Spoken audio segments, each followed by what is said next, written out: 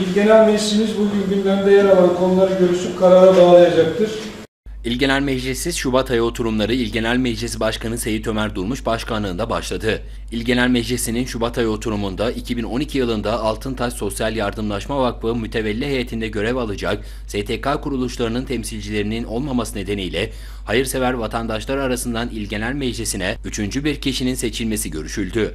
Görüşme sonucunda Osman Kahraman Altıntaş Sosyal Yardımlaşma Vakfı mütevelli heyeti seçildi. 2012 yılında Altıntaş il seçilmesi talebinin görüşülmesi.